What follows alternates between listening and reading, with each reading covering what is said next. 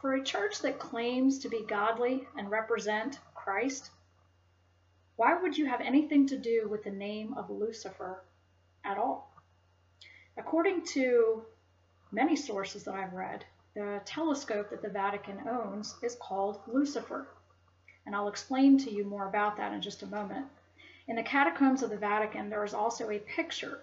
If you take a tour downstairs in the basement or the catacombs of the Vatican, there is a picture of a of it looks like an angelic being riding a horse, and he's in midair. And it is supposedly a picture of Lucifer claiming victory. Again, why would a supposed church that claims the name of Christ have anything to do with the name of Lucifer or associate itself with the name of Lucifer in any way whatsoever?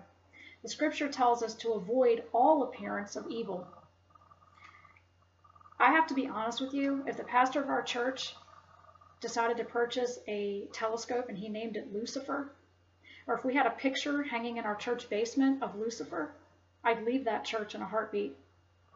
And I would confront our pastor and say, What are you having to do with the name of Lucifer? Why are we calling ourselves uh, a church, a spirit filled church of Christ, and having anything to do in association with the name of Lucifer?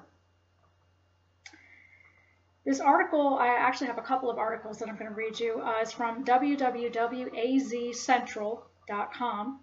And it asks here, is there something satanic about the Vatican's telescope? So I want you to look at this for yourself. And the sources I'm going to read you from are actually secular sources. These are not Christian sources. These are secular sources asking this question. Remember, the scripture tells us to avoid all appearance of evil. Why would you have anything to do with Lucifer if you're a born again Christian, if you truly are claiming the name of Christ? Please tell us why, the article says, a telescope on Mount Graham is being named Lucifer.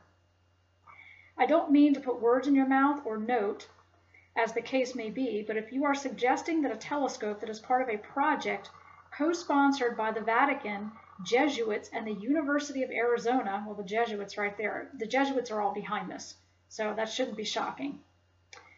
Um, if you are suggesting that a telescope that is part of a project uh, co-sponsored by the Vatican, Jesuits, and the University of Arizona uh, has anything to do with Satan worship, you may be onto something here.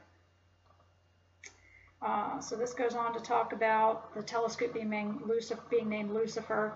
There's another article from Popular Science. That's popsci.com slash science. So that's popsci.com slash science. Lucifer instrument helps astronomers see through darkness to most distant observable objects. Popular Science. So this is a another secular source. And many will tell you that this is benign, it's harmless, that we're reading too much into this. I do not believe so. If you belong to Christ and you claim the name of Christ and his spirit lives in you, you would not name anything that you own after the enemy who is Lucifer.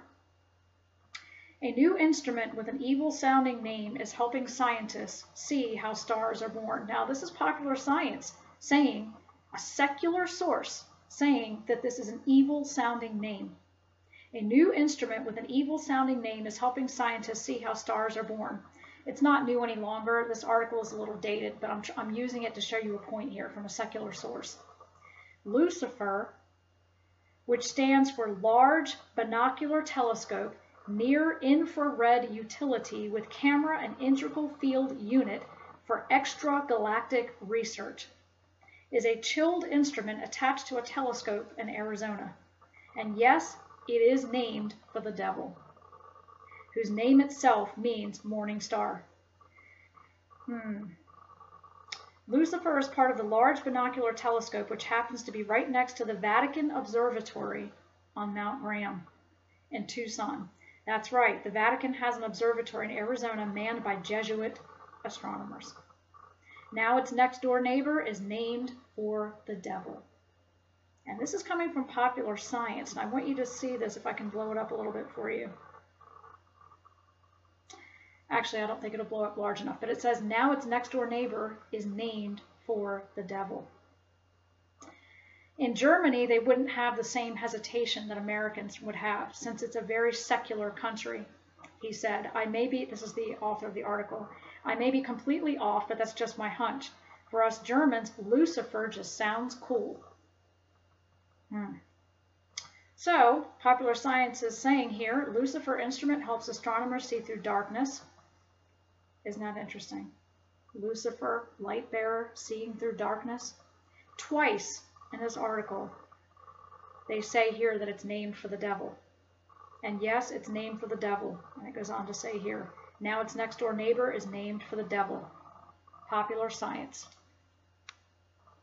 So let me ask you this question, and it gives you food for thought. This channel is all about planting seeds in people's hearts and getting them to do their own research instead of just taking what is handed to them from the pulpits.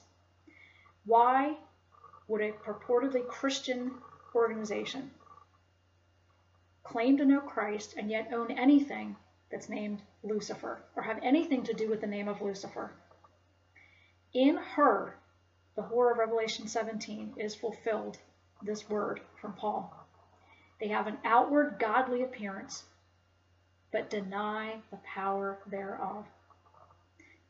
Outly Godward appearance, outly, uh, I'm sorry, outward godly appearance, but deny the power thereof.